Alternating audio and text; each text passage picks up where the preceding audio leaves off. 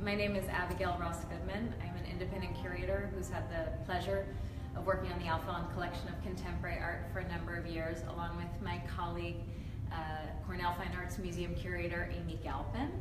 And this is our fifth annual reinstallation of the Alfond collection of contemporary art.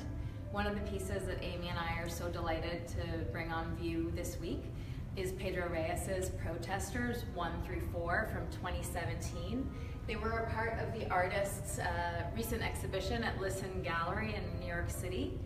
Pedro is an artist who hails from Mexico City. He was born in 1972, and social practice is very much a part of his um, art production from sculptures to paintings, performances, uh, and the like. He has a real sense of both art historical sense, a real art historical sensibility, uh, as well as one of social and human interaction and change.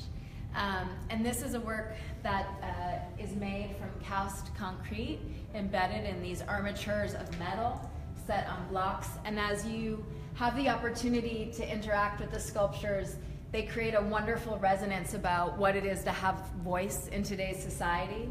The Alfond Collection of Contemporary Art was founded on the notion of uh, being a teaching syllabus, if you were, for a liberal arts education as an advocate uh, or as a, a collection that embodies notions of global citizenship, which makes this piece incredibly timely uh, in the sense that we are living in a moment where having a voice and speaking out about issues of great importance are critical for people of all ages, but especially for teaching that to the young people of our future. And so being here at the Alfond Inn on the Rollins College campus, uh, it just feels, as I said, especially timely.